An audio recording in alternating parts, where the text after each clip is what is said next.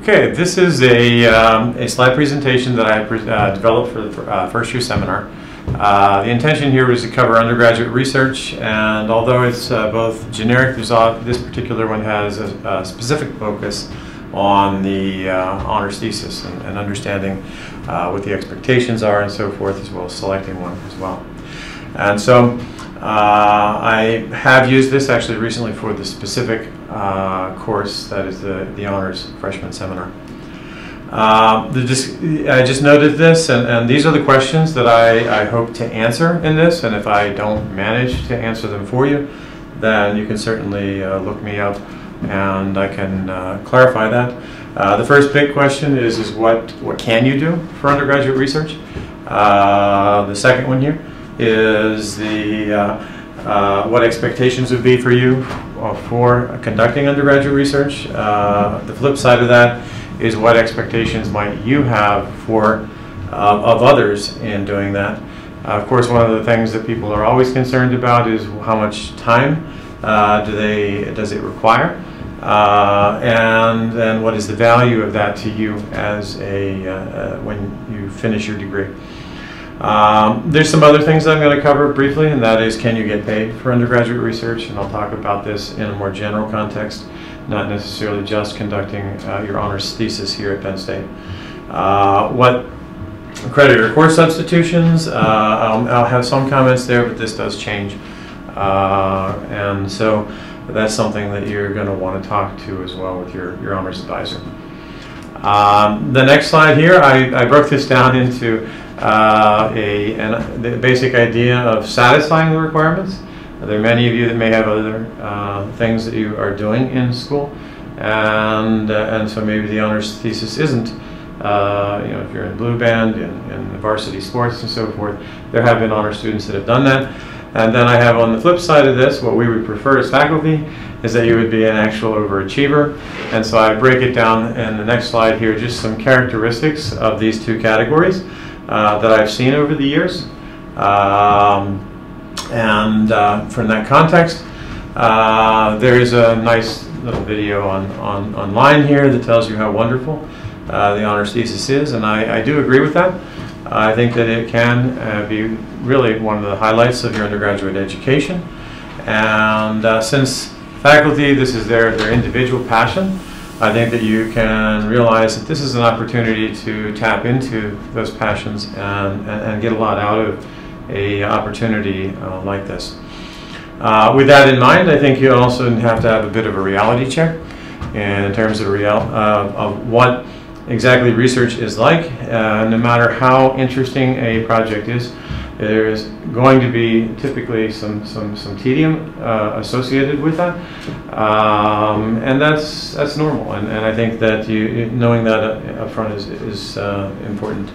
Uh, finding time is hard. ChemE is not a simple, easy major.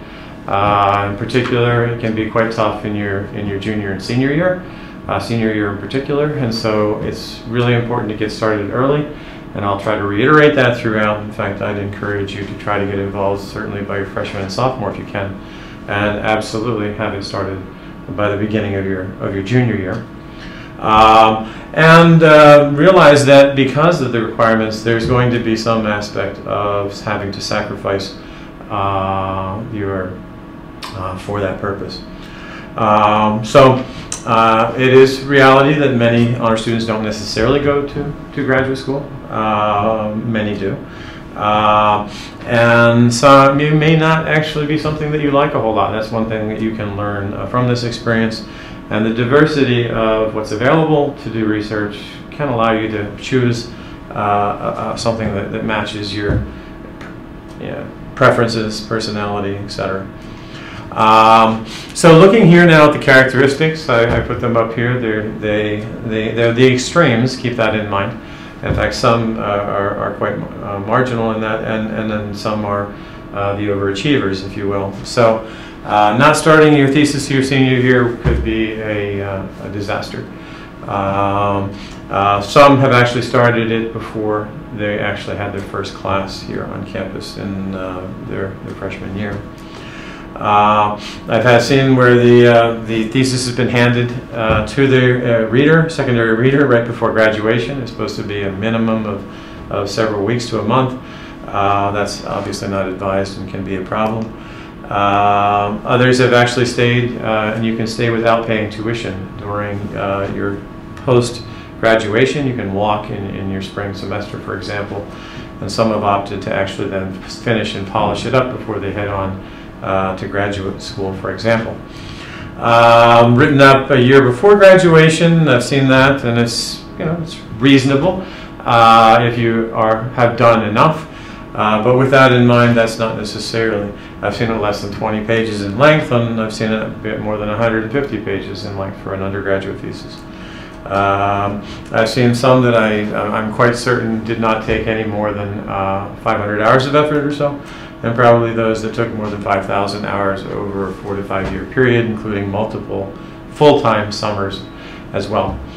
Um, I've seen some, the, the writing was incredibly poor, um, and I'm, I'm, mentioning this because I'm going to be showing you later one of the ways to get an idea about what this is about is, is to actually go through some undergraduate theses.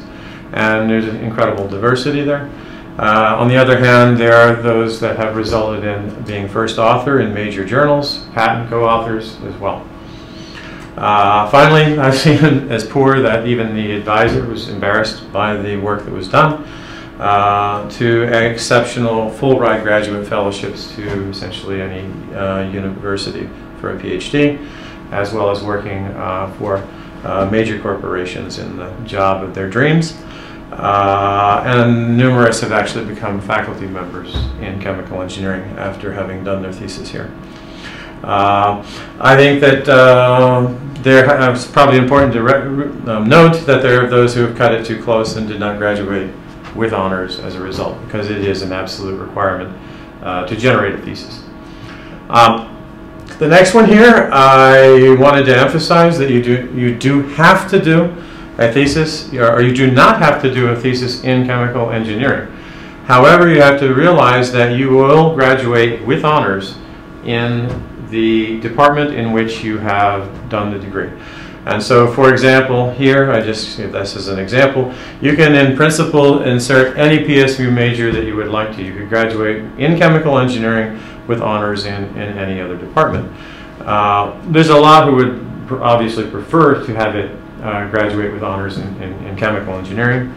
Um, and so I want you to understand that that's the case. So even if all of your honors option and all of your coursework is in ChemE, the thesis ultimately defines what sits on your diploma as that degree. Uh, ChemE has a large number of affiliate faculty members that they have uh, added in, in the last uh, few years. And any of these can, uh, they have academic homes in, in many different departments. Um, and you should you can have them as a thesis advisor and there's no special considerations then for graduating with honors in ChemE. It does make our, our webpage a little bit uh, difficult to interpret since there's at least uh, a third to almost half of the faculty there don't really teach in our core chemical engineering courses, so you're not going to meet them uh, through class. It'll only be by looking at those topics. Um, you might be able to, we've done this in the past, arrange a ghost advisor, so to speak. Uh, say you're working with a faculty member in food science who has a ChemE background, the work is largely ChemE. Um, and in the process of that, you could actually graduate with honors in chemical engineering by having an arrangement where there would be a reader uh, or a primary advisor in ChemE for the purpose of the grading and so forth that would work uh, and coordinate that with your your, your uh, advisor in, a, in another department. Uh, and we have faculty with joint appointments uh, in many different majors. I have them in three different uh, departments. Uh, so the obvious ones would be chemistry, biology, molecular cell biology, um, but some are, are, not so obvious in food science, horticulture, etc. And so um, the main point I'm going to make here is, is that if you have an interest, uh, why don't you start with that as your core uh, point to, to figure out where you, you would go, and then some of these logistical details can be, can be worked out.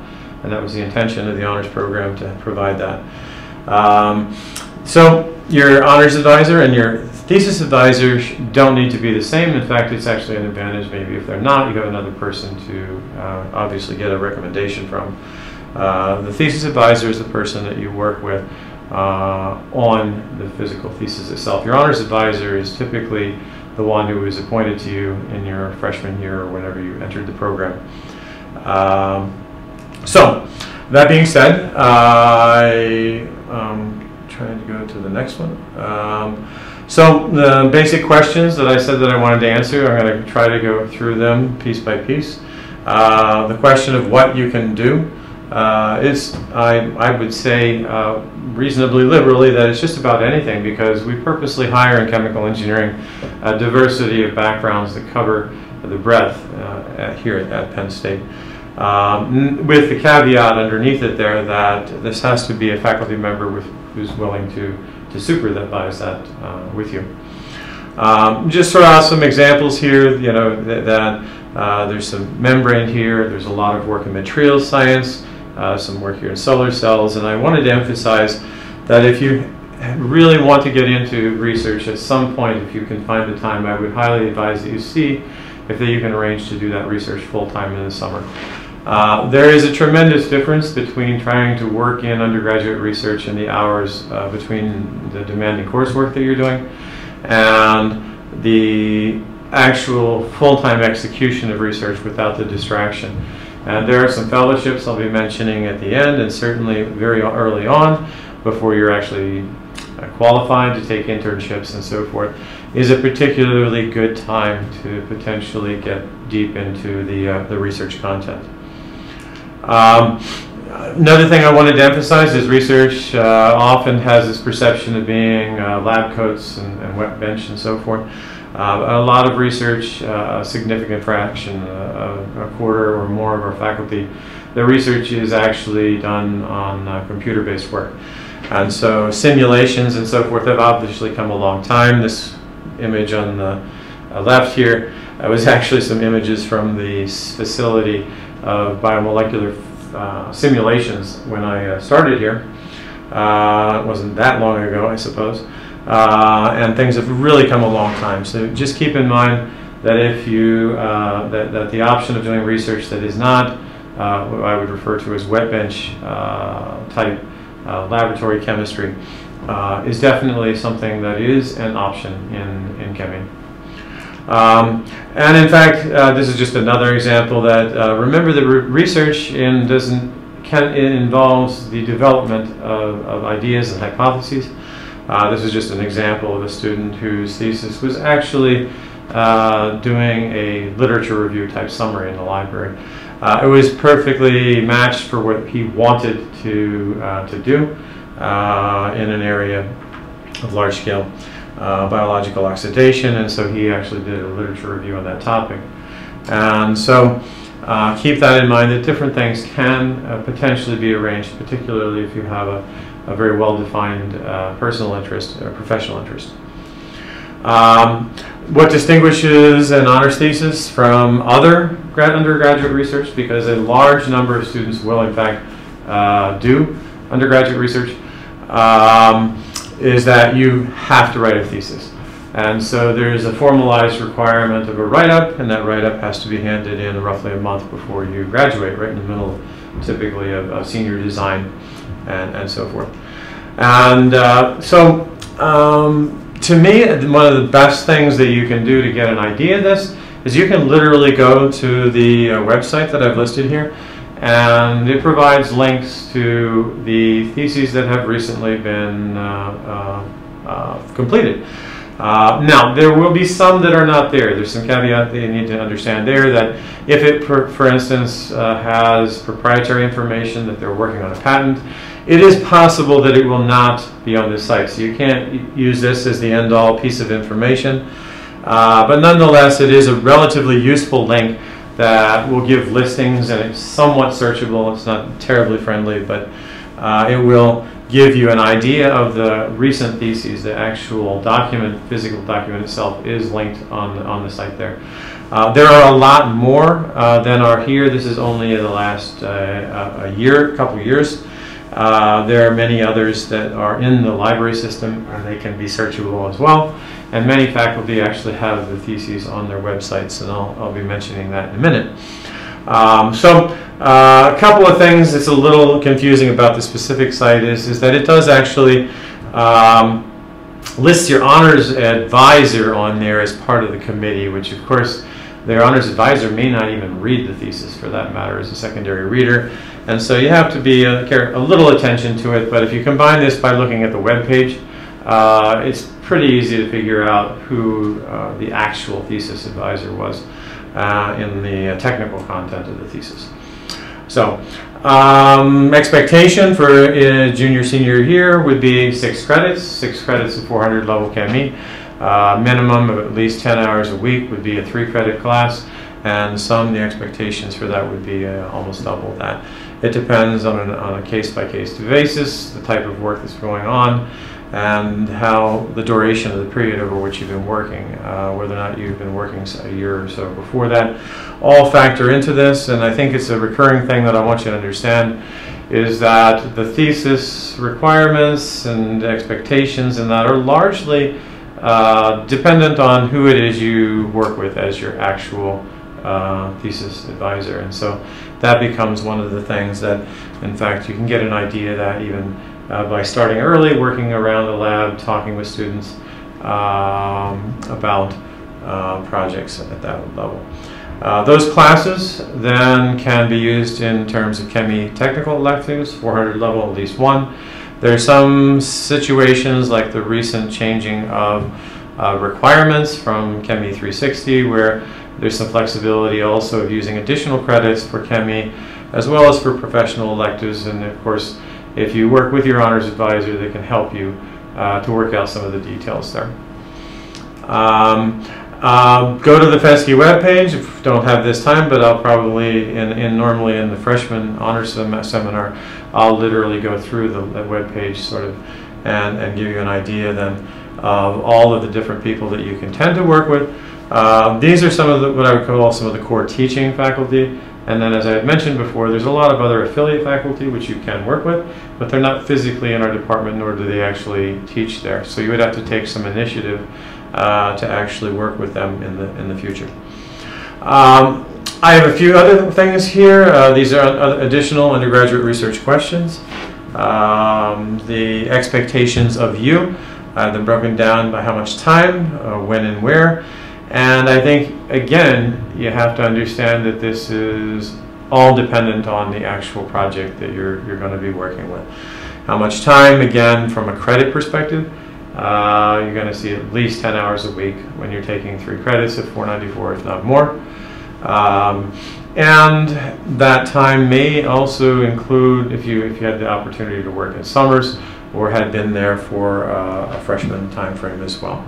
Uh, similarly, the when may depend on the content. If you're going to work on something that requires advanced course material, uh, then your actual thesis content probably can't start until after you would take that material. However, there is a tendency for research to be more science-oriented, and as a result of that, uh, it doesn't necessarily build on a undergraduate requirement or that one can learn that on the fly as you are, are getting involved in that. Uh, and the when and the where also, did it work nights, weekends, and so forth, depends on the level of independence, whether you need to work in a wet lab, what safety considerations, and things like that as well. Uh, where, it also depends on whether or not it's a wet lab. If it's computational, obviously you can do that from uh, essentially anywhere. I um, searched around a little bit to try to find a couple of lab research page specific that mention undergraduate research, and I just provided them here. This isn't a, a, a comprehensive list by any means, uh, but it encourages you to go to their website and you'll always find a link that talks about the research topics. Uh, and those are the projects in which you would get involved with. And sometimes there's some specific links that actually discuss how undergraduates uh, interface to that research in, in the lab as well. Uh, what expectation can you have of others? Uh, that's one thing is, is that you have to understand that there's someone can't work with you every hour of the day. You can't expect necessarily a faculty member to be uh, holding your hand. uh, 10 hours a week. And so uh, it's not atypical that, that you would work, uh, for example, with a, uh, uh, a, a, graduate student or, or a postdoc on an initial day-to-day -day basis, and you may actually become quite independent at some stage in the execution of that work. Uh, and in some points, in many cases, if you've been around the lab for two to three years, uh, students often find themselves in the reverse situation where they're actually now teaching a new graduate student who would be coming into the lab. And so there's some reciprocation there. Uh, and obviously learning or teaching somebody something is, is a great way uh, to reinforce and to actually learn as well. Um, what's the value of undergraduate research? Uh, of course, just simply being in the honors program and graduating with honors has a, uh, a very positive uh, reflection, and so there's an expectation uh, that you will have done additional work and so forth. Uh, what is the value of that depends a little bit on what you intend to do. Uh, for example, if you plan to go to graduate school, then it's an absolutely critical component of your application for graduate schools and your recommendations.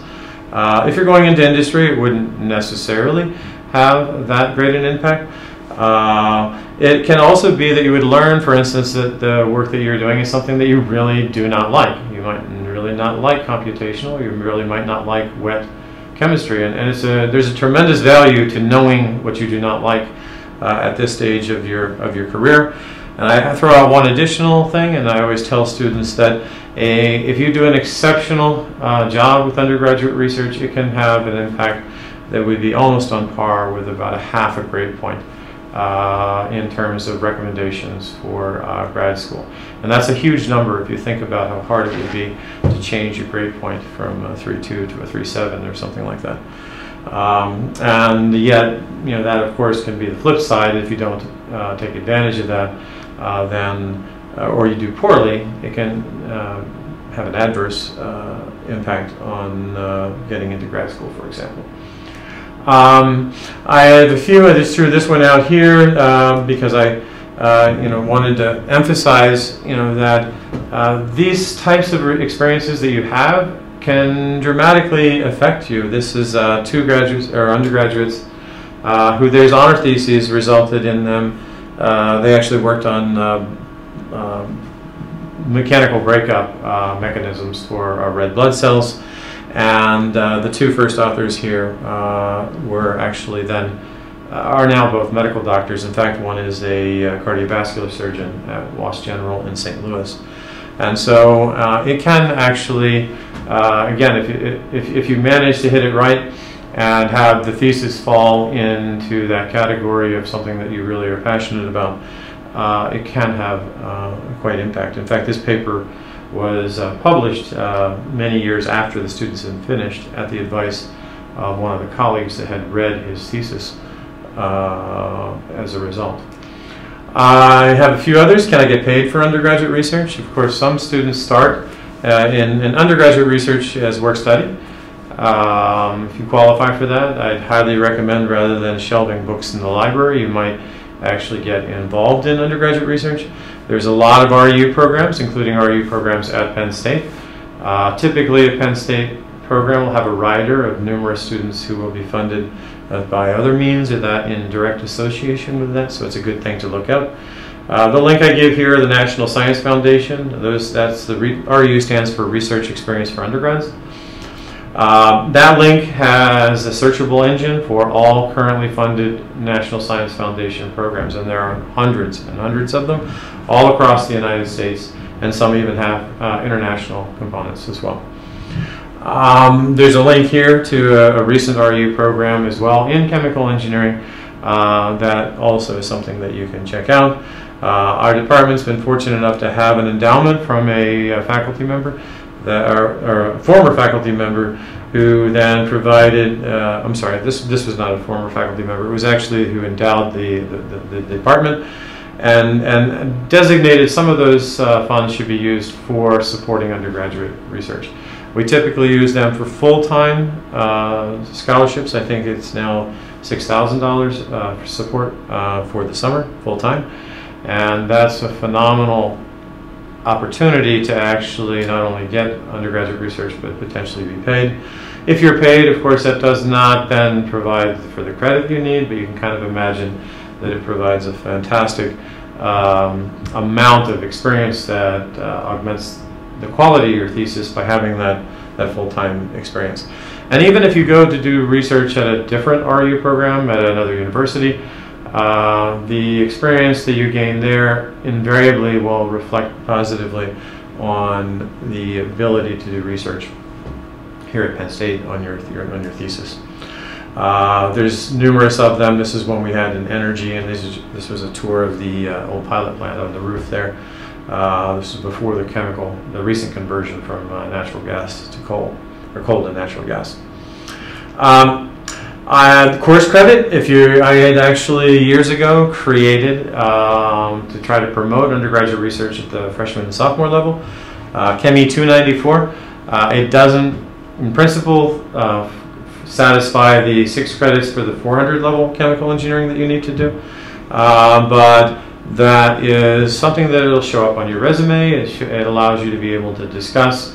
And in some cases, we actually, I always advise that you can do substitutions, for instance, for engineering, design, and graphics uh, with uh, freshman or sophomore level undergraduate research. Uh, ChemE 494H is the credit for uh, typical thesis work. If you get extremely involved in research, and there, there are some opportunities that have historically been taken advantage of to take additional research undergraduate level, which also counts for honors credit. Um, and one can then follow that up with going to national meetings, giving presentations, participating in national undergraduate research competitions, and the actual writing of papers, uh, if done in a very systematic way, can actually then, for instance, be utilized for technical writing. That has actually been done in the past too, although to do that does require a considerable work, uh, effort on your part to actually undertake a systematic uh, learning uh, and, and, not just simply assisting with writing. I wanted to um, end this presentation with a sort of final thought on the undergraduate uh, research experience, the thesis in particular.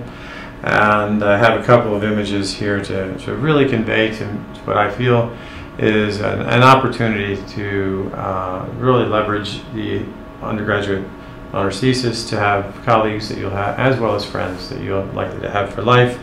Uh, I was actually just on a video conference call uh, with a graduate student over here that was the mentor of Sydney, who's in the pink and the up front. Uh, the character on the, uh, on the left there happens to be my son who did his thesis as well. Uh, more recently, this was actually a trip, that was actually Longwood Gardens. We were actually, as part of the research, we were visiting uh, DuPont to learn some techniques they had arranged uh, for us to see some genetic uh, engineering work they were doing and gave us free tickets to check out the Longwood Gardens. Um, in this panel here, uh, this was actually a collaborator in some research that we were doing uh, guy at the University of Kentucky. And as part of that, we actually went on a camping trip on the way there.